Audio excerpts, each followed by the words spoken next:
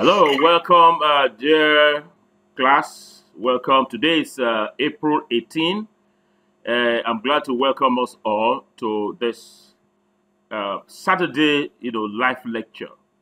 Uh, like we enjoyed a number of lectures in the past, today will not be different. Uh, I'd like to welcome all our students from Nigeria, from Ghana, from DRC, from Burundi. And I would like to uh, especially welcome Professor Juma Shabani, uh, who is the director of the University of Burundi Doctoral School, a UNESCO juggernaut. I um, we're going to have, uh, as I said, a very interesting class. The topic of our lecture today is advanced techniques in sampling. It's a topic in our course ACE 811 911 811 for the master students and 911 for the doctoral students. I, I like that course uh, code 911 911. So it means uh, you'll be calling 911. All right. So, who is our wonderful lecturer for today? I can see coming into the class Professor Abayomi Arigbabu, uh, Vice Chancellor TASUED, who gave us a wonderful lecture early in the week, and who will be addressing us again on multiple regression analysis. So it's going to be really, really wonderful. Who is our lecturer for today? Uh, let's meet uh, our wonderful professor who will be taking us uh, in this lecture for today. Uh, is uh, Professor Oye Bandele uh, who is a professor of educational evaluation uh, with interest in research, in, in research, in statistics, and computer science education. A first-class person, I tell you, because he earned the prestigious first-class degree in mathematics education for University of Benin, and he got his master's and PhD degrees from the great University of Ibadan, Professor Bandele after that, proceeded to take a postgraduate diploma in computer science. And I tell you, a very unique man because he has been privileged to be vice chancellor of three universities in Nigeria, vice chancellor of three universities. So we're looking at a giant, a great man indeed. Our professor for today has published several books and journal articles on educational research, statistics, computer education. He founded the National Association of uh, educational, one minute, researchers and evaluators, and is a member of several national and international associations in his area of interest. He was one of the five professors invited by the University of Botswana to review the undergraduate programs. And he received the Best Paper Presenter Award at the 12th Open Learning Forum in Cambridge, the UK, He's participated as facilitator of training programs and as participant through chair at conferences in Singapore, United States of America, UAE, South Africa, and Ghana. Is presently a professor and lecturer in Ekiti State University in the Institute of Education. Our lecturer for today, Professor Samuel Oye Bandele, consults on educational projects, data analysis, and advanced training in psychometry, research statistics, and educational enterprises. Oh, my pleasure to invite Professor Sam Oye Bandele to give us an exciting lecture on advanced techniques in uh, sampling. Over to you, Professor Bandele. Uh, it's a very great privilege for me to be here this morning, and I want to be happy to see all these my very wonderful participants. Permit me to please appreciate my mentor, Professor Peter Okebukola. So it's a great, very good pleasure for me to be here. I want to believe that since I've had several sessions, as I just heard now from my mentor, Professor Okebukola, from other scholars who have actually participated in this great online interaction. I want to say that uh, today It's also a pleasure for me, and I want to invite all our students. Let's go on this journey and look at the topic before us, advanced sampling techniques in research. I want to uh, actually explain that research is not new. It is an enterprise that is done by virtually everybody. But it's a privilege that at this particular level of an organized program, we should know what we're doing. And therefore, at the end of this interaction, by way of objectives, participants should be able to recall what they have learned, what they have known previously on elementary and intermediate techniques of sampling. To be able to identify major problems that are actually associated with under, underutilizing statistical foundations in an attempt to uh, choose or implement sampling techniques procedures and to have some theoretical and statistical methodological background in advanced uh, sampling research. At the end of this interaction, students should be able to make generalizable research hypotheses, which must be based on the choice of appropriate sample sizes that is to be used in scientific research. And the last but not the least, and which I may still need to emphasize later on, at the end of this interaction, participants, learners should be able to acquire essential skills needed for self-development on this extensive area of sample techniques if you want to have reliable outputs in our research endeavor. Permit me to say that as our mentors always uh, tell us, I'm happy that as introduced already by our erudite scholar, the distinguished professor Kibukola Professor, after completing a PhD program, it is the beginning of learning, particularly in research and in specific disciplines, where somebody assumes that he has gotten a PhD. And therefore, after this particular interaction, there should be specific interest at developing ourselves in this area of understanding what sampling technique means so that we don't continue to just have research that has no solid background. Uh, Prof. The part of my slide is being covered. My slide is being covered, sir. I don't know that you can move it up a little bit. This, uh, uh, it's not me. I can't move it. Move it. Okay, no problem, sir. No problem. It's you at your end. Yeah, I cannot. No problem. I, I, it's, it's, it's no problem. Right. Now, let's start by looking at the overview of sampling techniques. Like I've said, I don't want to assume that we have not been exposed to a level of teaching or learning in research, and particularly research methodology, and maybe how to sample whether at the sub-degree levels, whether at the degree levels, or even at the master or PhD level. And therefore, we must understand that research activities cover every human edible, and they are particularly directed at solving knotty problems in the world. And at each stage of our research endeavor, it becomes essential for data to be gathered. But the problem is how to know that it's being done rightly or wrongly. And that's why I'm inviting up everyone to please pay attention to this particular interaction today. Do it wrongly. That is to say, if you enter into any research uh, any research work, and then it is done wrongly, particularly at the level of choosing techniques to use, which will lead you to even uh, focus on your research variables and collect data, then we miss it all. Doing it wrongly has consequences. Number one, we are going to have unverifiable data. Correct.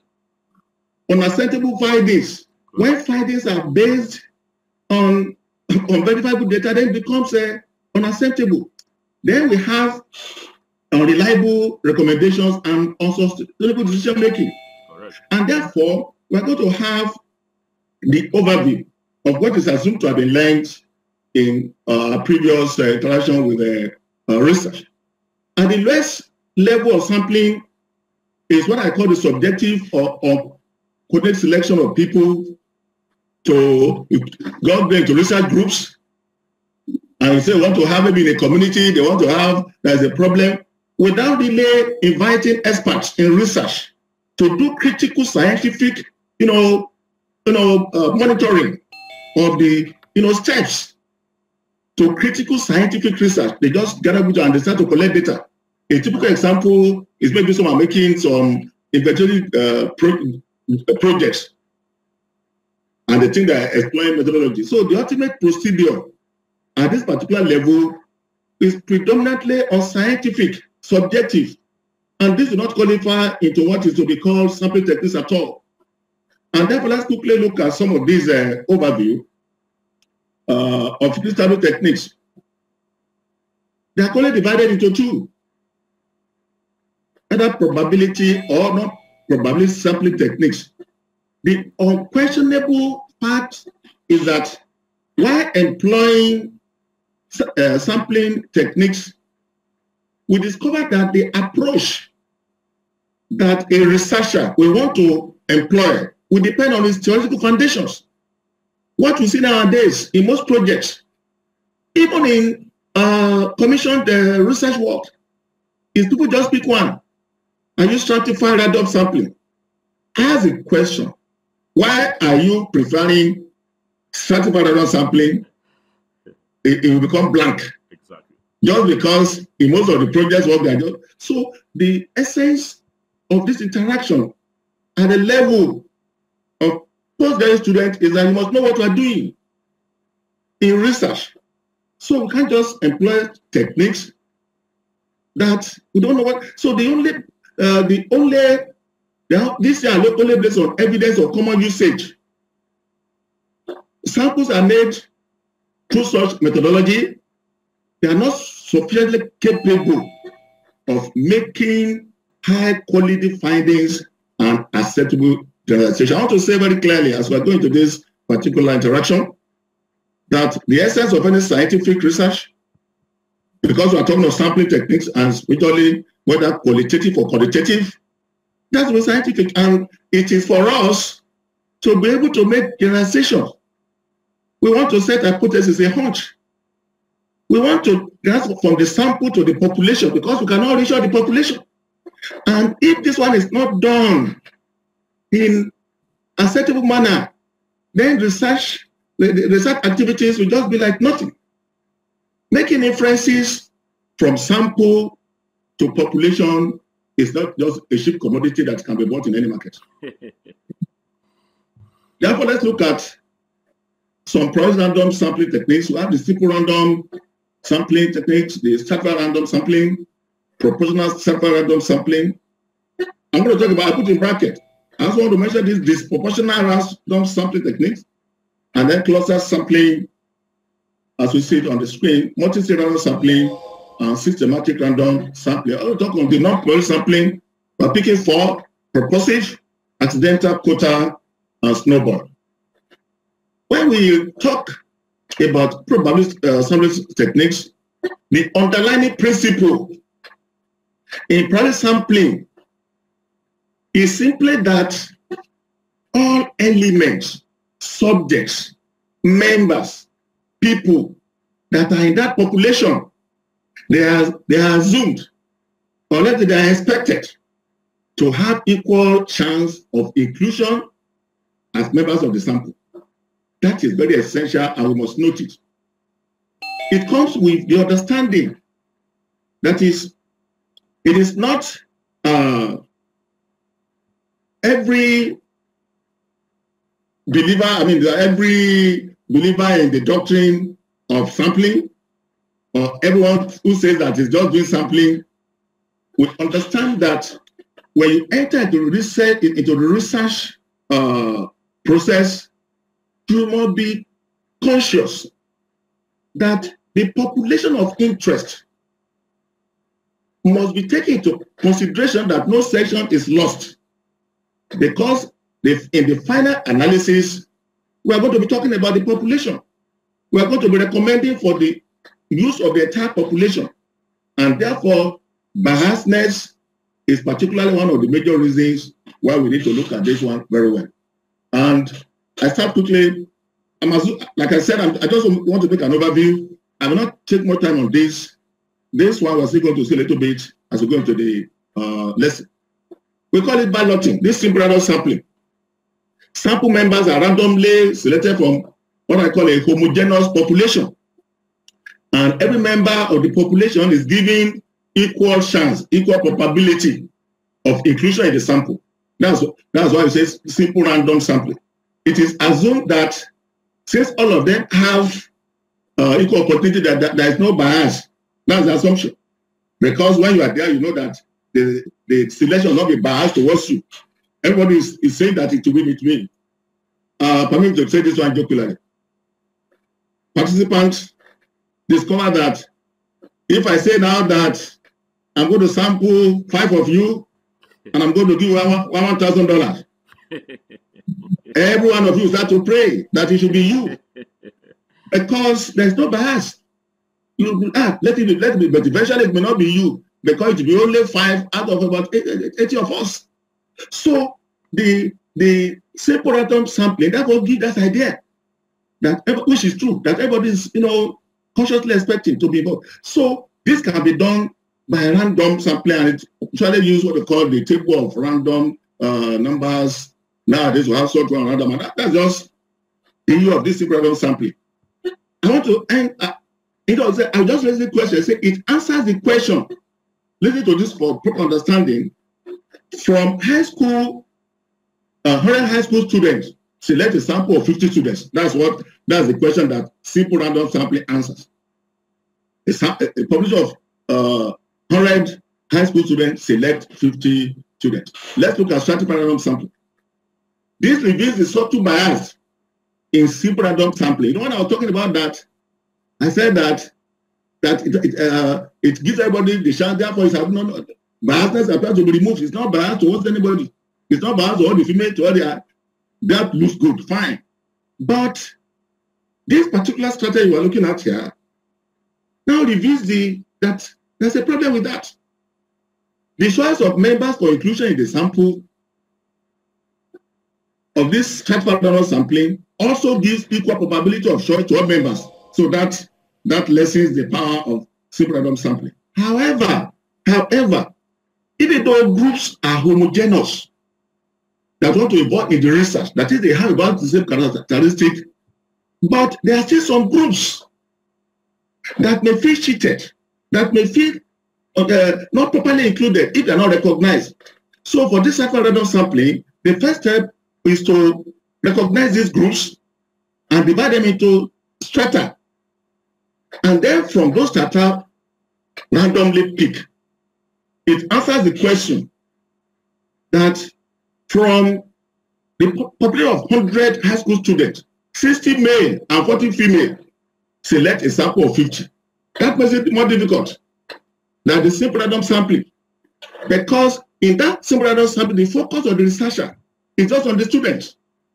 But this one now, there's emphasis on sex, on gender. And therefore, the researcher cannot gloss over that. We are gradually moving to this area of variables. Variables in your research.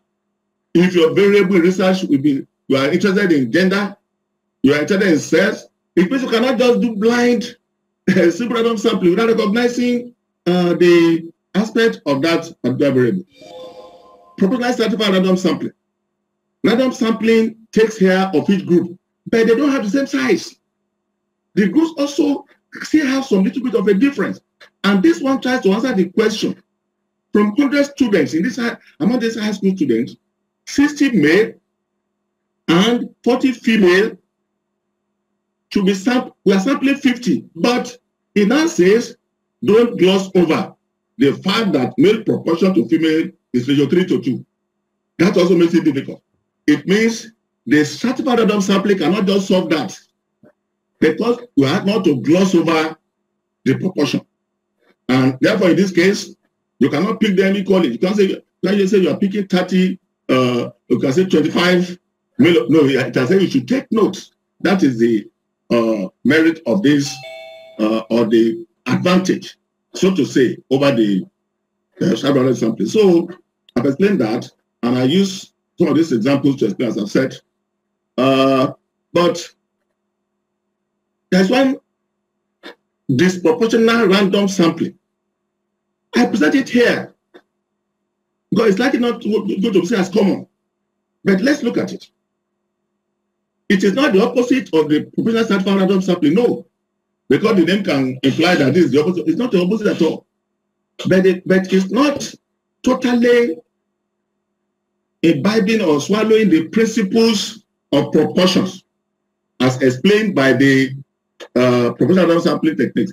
All it just says is answer the question from 100 students, 60 male and 40 female, select a sample of 50, but the proportion of choice must be 50% from each strata. So it is still recognizing the strata, but it's not saying that, well, it's not that we still look at proportion. This is it. Me to say this one again. This is the era of uh, also female equality. Oh, yes. Female equality. And therefore, if you have 50 male and 50 female, the female can say, why, why, why are you saying I want to eat proportion? It will be equal, equal rights. And that body is 50%. So it is it now take 20 from B 20 for that. But coincidentally, half of this 30 out of this 20. It looks like the other one, but it's different. That's why I use another example. If you make it 50, 80, uh, 85 male and 50 female, it will expose the merit of this particular uh, strategy. Cluster random sampling is what we're considering here now. And I want us to take note that populations have what we call characteristics, but they're also in clusters. They're in clusters. If I if you use a, a particular country, for an example, you discover a particular region, it can be a cluster of people who speak the same language. There can be that cluster of people who speak the same language, or at least like that, or have different cultures. So there are clusters. So res, res, research also recognizes this. It, it, it have to recognize this. And therefore, we can, we can sample stage by stage by recognizing those uh, uh, clusters. But it is done randomly. So the first stage, after identifying the cluster, you randomly sample one or two clusters. And from use that one as your sample. You go to, you can go to the next stage. From the one you have selected before, you can again select other clusters and so on and so forth until you get to the final uh, cluster. But let's take note because we're going to look at the multi-stage. This this one maybe maybe I should say quickly here because it's quite different from multi-stage random sampling because the first stage can even be the final stage of this, this process. You may not even go for that because if my interest is just to take a cluster of some 50 uh, lang language people in a particular community and my first cluster satisfies my research objective. For example, I choose a closed cluster of a given language. I have the female, I have the male, I have the educated, I have the so I can use that one. Then that's the first. We I may not go beyond that. I move next to well, this is the uh, multi-stage. Just to make it uh, simpler, this also goes in stages. But the difference is that at the initial stage of this sampling, it knows where it's going. For example, I already set my sample to be students in secondary schools in two states or two regions in a country. Students. Automatically, there are two, two or three regions. So I cannot just say I'm going to use simple and I got no. I have to recognize each of these different sub uh, sections. So the first stage can be to sample, maybe permitting to use, for example, in Nigeria case, that's what we call the Southwest, we have about six, six states in, in the Southwest. You can start in the first stage and sample three, three states. That's the first stage. Don't forget, we're still going to students. Then next stage, you can sample some towns. But at this stage, you must follow the sampling strategy very adequately. As we are going to see some of them, uh, either it is probability, probability or non probability. And so you go on, you can now move to towns, move to secondary schools, then you now have the, that's multi-stage.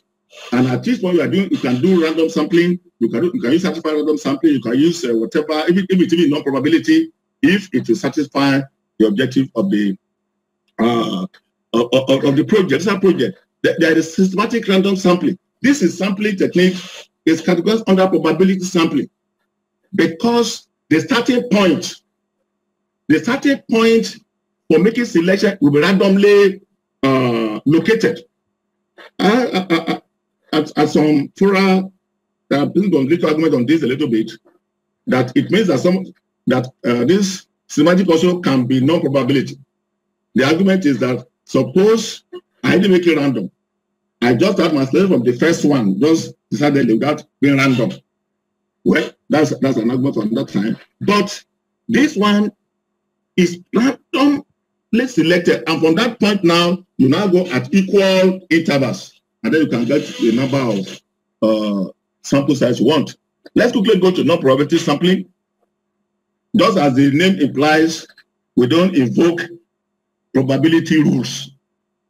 We don't invoke the rule of it must be random uh, will be unbiased. It was, that one, we'll, we forget that for now. Even though eventually it may be unbiased based on your research objective and what you are out to achieve.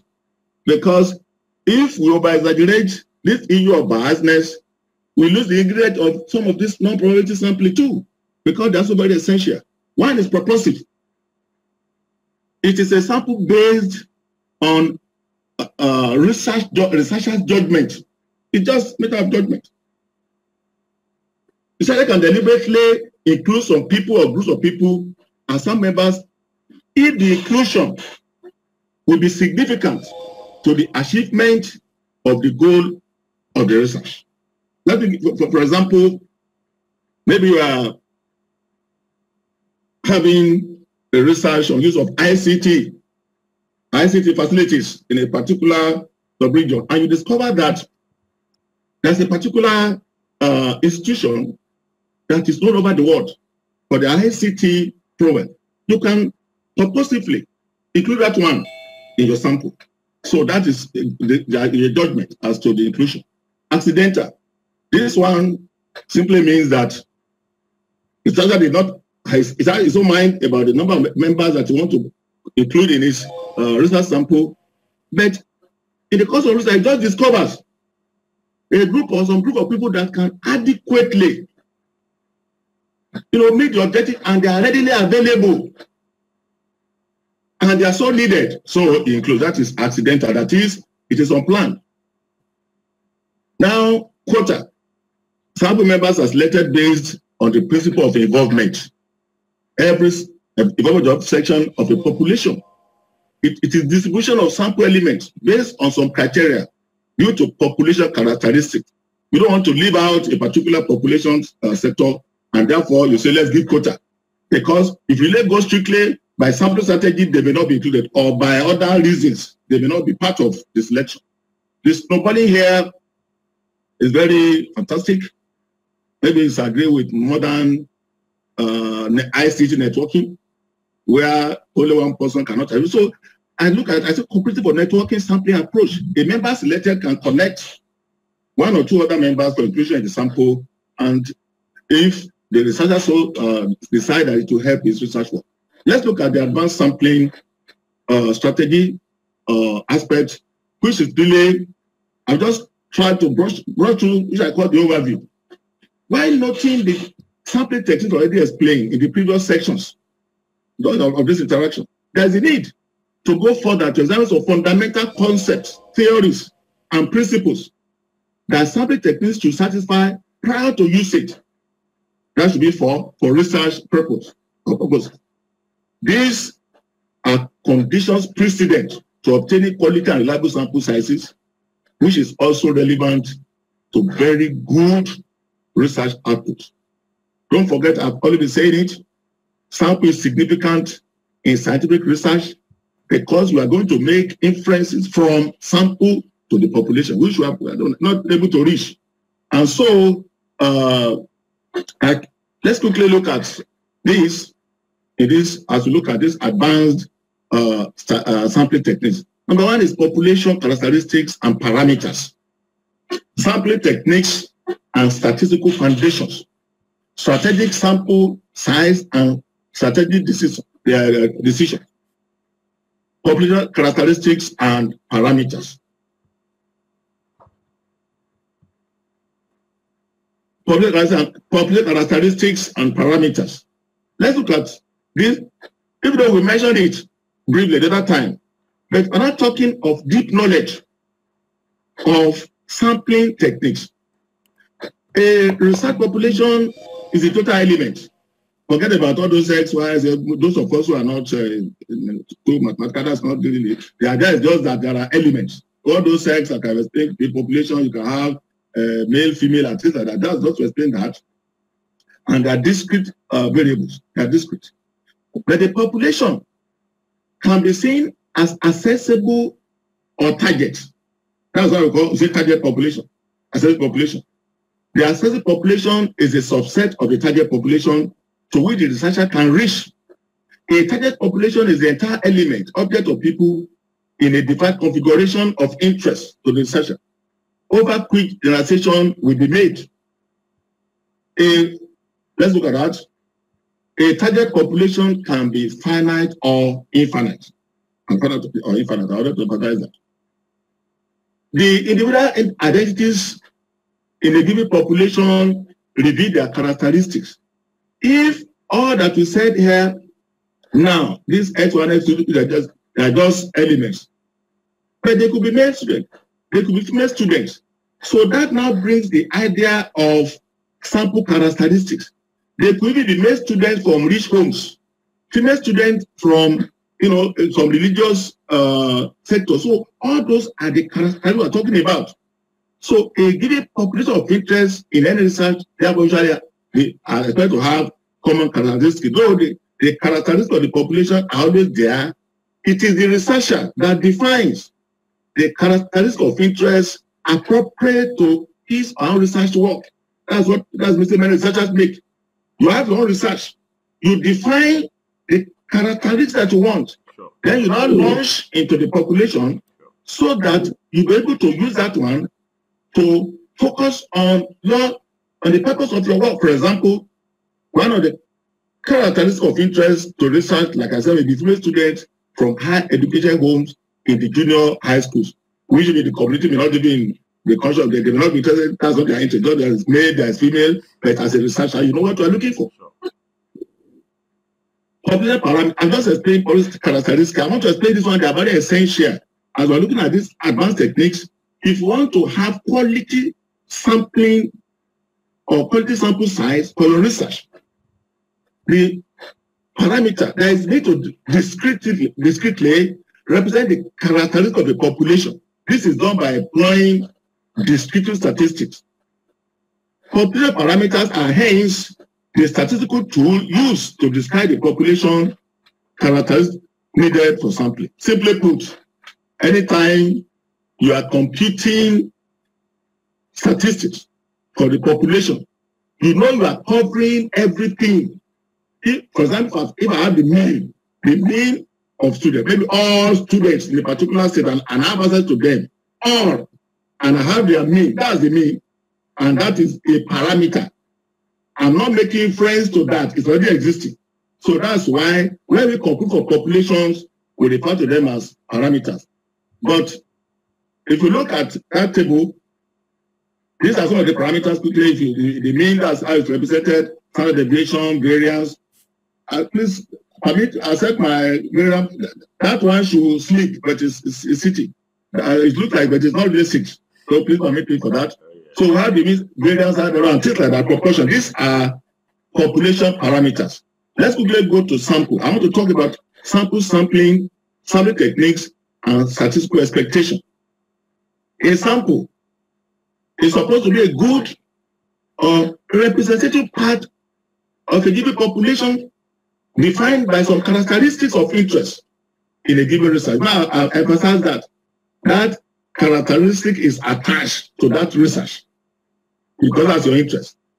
it is represented by talking about let's say say n where n to be 30 40 that say, say my sample size is this sampling however is the procedure or process of obtaining that sample that you require whereas sampling techniques they are the theory supported methods approaches or procedures available for the selection of recognizable part of producer population in order to obtain a good representative and unbiased sample That's, that's the of these sampling techniques.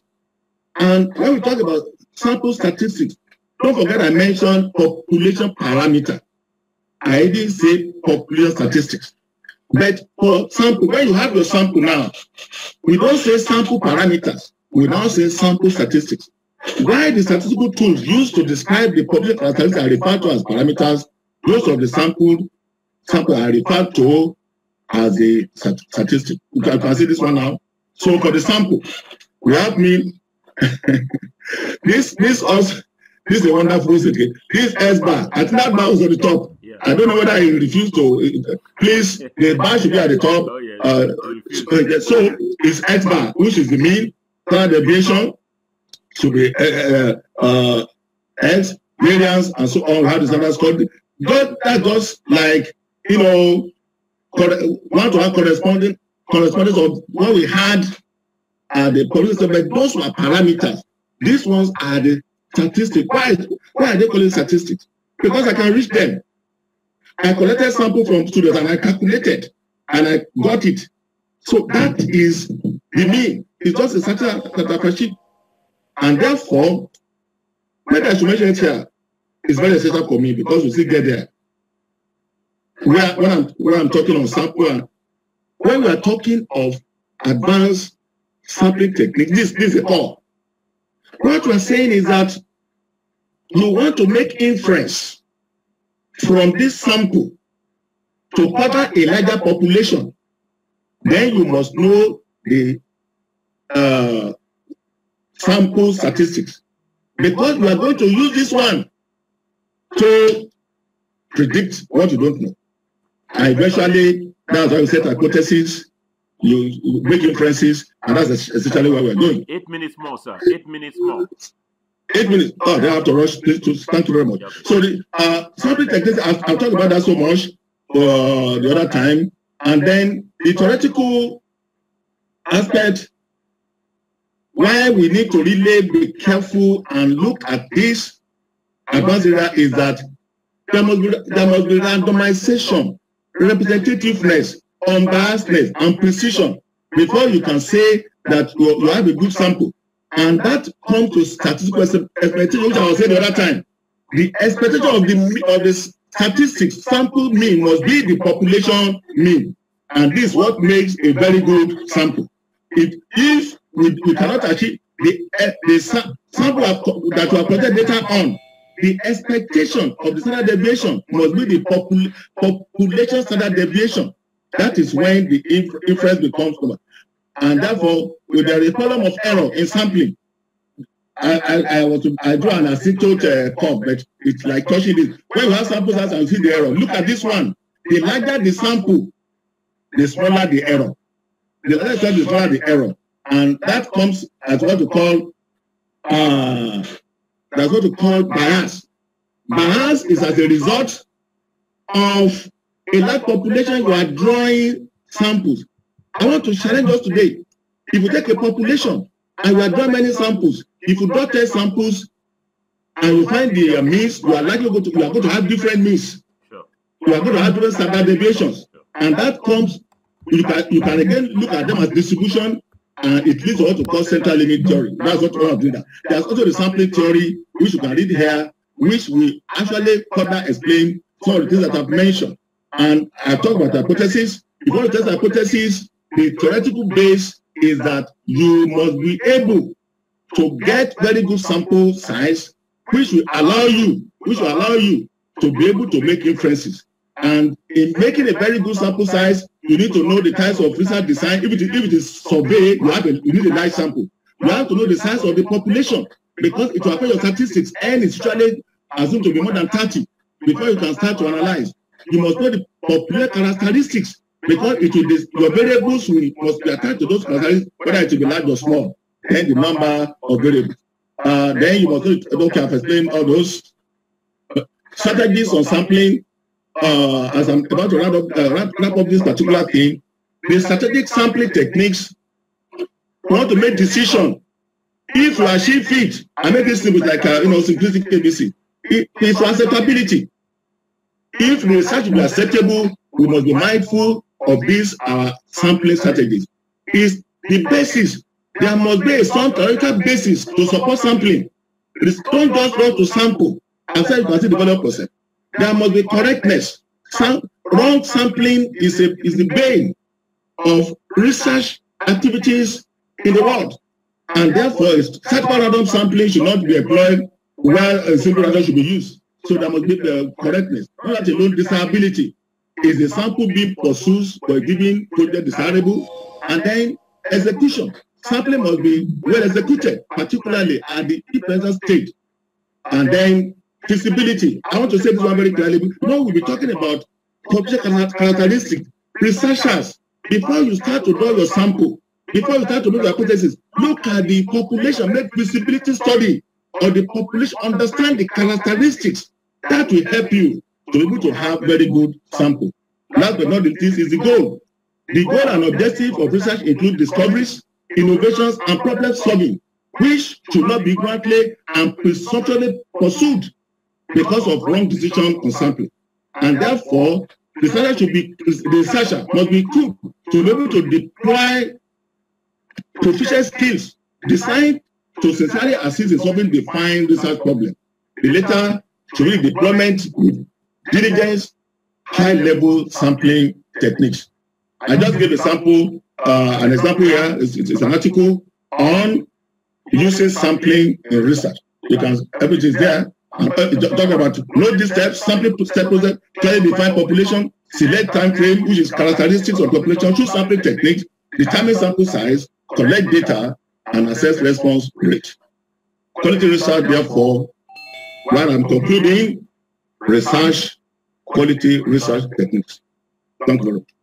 Thank you so very much, uh, Professor Bandele. Clearly, an awesome presentation. Uh, I, I, tell you something, Professor Bandele. You know, I, I, have been doing research uh, for a little while, but I tell yeah, you, I've not been able to learn as much as you have taught me at our class today. You have done so, so, so very well.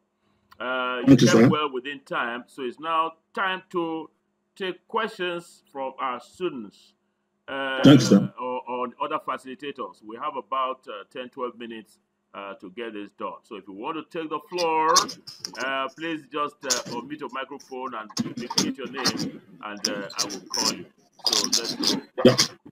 Yeah, that's uh, Aladio King. Aladio King, make sure you make it very brief. Aladio King, you have the floor. Make it brief.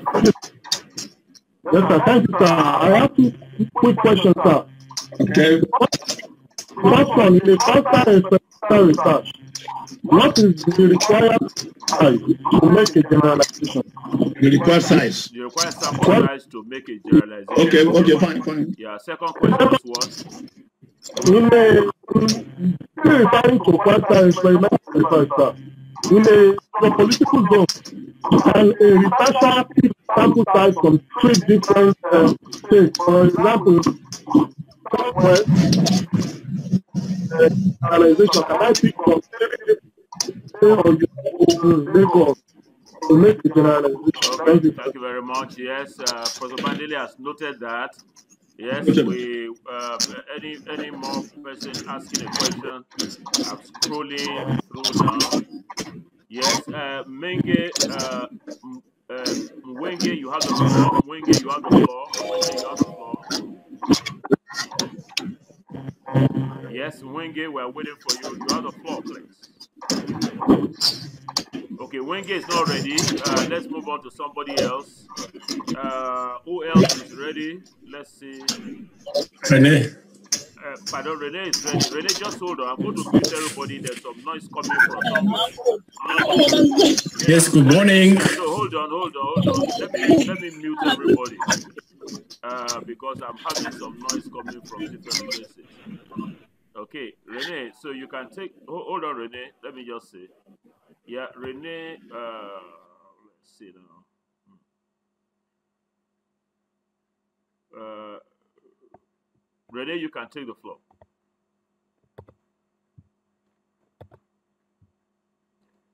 Renee, you can mute yourself and take the floor. Uh, good morning.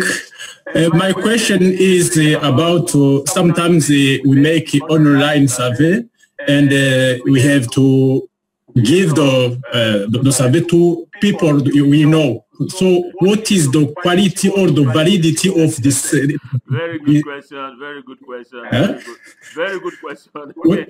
you are recording Okay. now How, how can I, how can I clarify the quality of this, the, the, the, uh, this survey? Very good. Uh, very thank good. you. Excellent, excellent question. So uh, I'm scrolling again um, across Yeah, the class. Da- Uh, David, uh, who? David, Okay, David. Uh, you have the floor, David. Thank you, Professor, for this uh, lecture. My question is about representative of the sample and the size of the sample. When we are about to present our thesis or uh, masters or PhD, there is a problem between uh, students and uh, the panel. They always ask, your sample, is it representative? Even if we have meet characteristic of population, but there is a huge problem between the sample, uh, the representative of the sample and the size. How can we, even we make formula about uh, many formulas, but we don't understand how can we jus- justify the question about the representative of the sample and the size. Thank you very The second question is, Okay, go ahead. Go ahead. Go ahead. Go ahead. how about heterogeneity of the population? Exactly when population are homogeneous, we understand that we can use a simple sample, we can use stratified sample. And how is it when population is heterogeneity? All right. Thank you very much. Uh, yes, uh, we'll take a few more questions, and uh, Professor Oye Bandele will then answer. Yes. Just, just indicate if you want to take the floor. Uh, Yes, sir. Akkad, Akkad, you have the floor. Akkad, you have the Yes, floor. I have just, just one question. Can you hear me? Loud and clear, clear, loud and clear, loud and clear. Okay. Professor Mandele, forgive me if I pronounce it wrong. Professor Mandele uh, has talked about accessible population and target population. What if a researcher can reach all the population? Will we need then uh, a sample? Wonderful. That's a very good question. that's a brilliant question. I, I- it has not occurred to me, so that's one of the smartest questions I've heard. In other words, I mean, if you as a researcher you can reach all the population, as if you are looking at blind people, like uh, uh, by the way, this are, this are, uh, uh, this as an aside, uh, I and a couple of people in the room, some professors here, we have been assigned the the the, the uh, responsibility of uh, conducting the Unified Tertiary Matriculation Examination. That's the examination for entering universities in Nigeria for blind candidates, all the blind candidates in Nigeria. So if we brought them together, that's the entire population. So does it need a sample again? If we are able, uh, able to get uh, the population, you're able to a- a- access uh, uh, the population. That's his question. So who else is taking the floor? We have time for a couple more. Uh, if not, I will then, uh, Professor, oh yeah, the, our deputy center leader, Professor Tunde Owolabi, a great physics educator who has been sampling physics teachers all over the world. He's, uh, he has been sampling everybody. So he, he- has a he has a he has a question. Uh, uh, Professor Tunde Owolabi, you have the floor. Please unmute your microphone and fire on.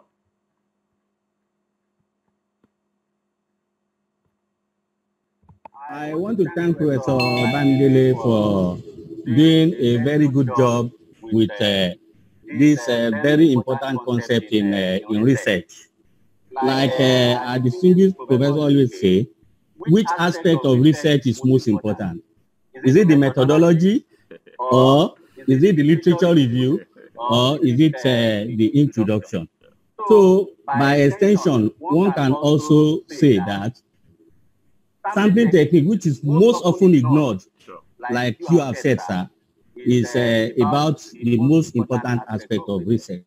But uh, what is puzzling here is, uh, and the question I want to raise here, is uh, perhaps if you can tell us some underlying principles that will guide our selection of a sampling technique. Bearing in mind the relatedness between the hypothesis, the design, and the sampling technique itself. Thank you, sir. Thank you so very much. Uh, I think we'll have time for just one, just one more, just one more. I'm scrolling across uh, the class. Uh, to the latter, you've gone to sleep today. What has what has happened? Uh, your your other friend uh, uh, Haladi Okin has asked. You want you don't you don't want him to outsmart you today. All right. So I'm going to ask you whether you want to ask the, answer the question or not. Tawo Dansu, uh, please use a don't use a phone to come to my class again. Please use a a desk uh, use a computer because what happened is that the your phone will just give you a narrow view on the on the screen, rectangular view. So Dansu, uh, make sure you come to my class with uh, access the class with a, a, a desktop, not a phone. So uh, Kunle are you are you ready to ask something or you are not? you are resting this weekend. Yes, sir. So go on. Thank you. Yes, sir. I just want Professor to help me clarify something. There's always this sampling technique called convenience sampling technique. And in what he presented just now, there was one he mentioned where he said the researcher is under purposive, that the researcher can decide to say, I want to use this based on this and this and this reason. If that exists, what makes the difference between that and that of the convenience? Thank you, sir. All right, that's all we can take for now. So I'm going to yield to Professor Oye Bandele, you know, to answer the six questions and uh, reflect on one observation that was made. Over to you, sir. Yes, we can hear you now. Yes. Okay, okay, thank, okay, thank you, sir. Let me start from the last, from the last question, so that we can just go like that. The last uh, participant asked the question about convenient sampling. And that name for that is the accidental sampling. When, when you talk about convenient sampling, you are talking of accidental sampling. That is to say, even though you had not initially planned to use this group of people but accidentally you have come across them and it's convenient for you. Let me give an example. Suppose you are having a research on eating of snail by pregnant women, eating of snail, and you'll be looking, you have been trying to get the sample, but you just stumble at a clinic, and then the pregnant people they are doing their clinic. That, that, that, will be that will be serious. So the pregnant women they give birth to snails. So I'm sorry, I'm just joking. Go ahead. Go ahead, sir. So so you can just answer your questionnaire, so that becomes convenient for you. So it's like accidental. It's different from purposive. It's different from purposive sampling. Purposive sampling is you are you can be pre-plan for that. You don't pre-plan for the accidental or convenient sampling. For example, like I said, at the planning stage, I can decide I can purposively want to involve a particular state in my I can Lagos state. If I'm interested in interacting with maybe uh, port authority members or whatever, even though they may be in other states, but I can purposively. So purposive sampling is the one you want to include because it will be significant to your study. But accidental is one you may not even intend to include before, but you now come across them it's convenient for you to include. That is the. Thank you. Is that okay for you? You answer the others in two minutes because our time is running out now. Just okay. So, okay. I, I want to believe that Prof just made a comment for the question. Then uh, there's a question on accessible and target. Suppose you can reach. Uh, now, no problem. You know the essence of research Why you go for sample is because you can't reach the population. So the moment you can reach the population, then you, you use also descriptive analysis mostly. You find the main deviation, and then you are saying what you want to say. You, you can't be making friends about a person to a person. No. So that's answers that question. Brilliant. Then the representativeness. Uh, If and size, oh, there are two different things. When size is not, this one will answer maybe the first question because of my time. The size may be very large and be nonsense. It, it doesn't matter. The size may be may be small and still be representative. Take note that population size is also proportional to the size of the population. I mean sample size. So what, what you need to know is that when you say representativeness, whether a big sample, I mean a big population or small, you are identify very intelligently all the characteristics and whether the sample is small or big, it touches uh, the characteristics. That's, there's a question as to uh, size do make inferences. So to talk about crash experimental sizes, the important, it depends on the research. If it is survey, you need you need a, a, a reasonable access like size. But if it is just uh, an experiment, a case study, things like that, maybe that measure quasi, you don't need very large sample because you are going to treat them. There will be treatment.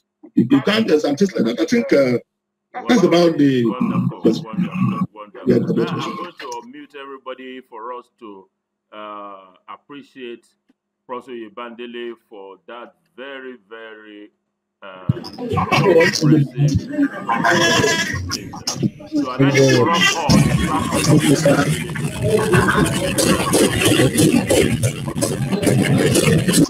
Our daddy and Vice Chancellor, Professor Abai Maribabu, to present.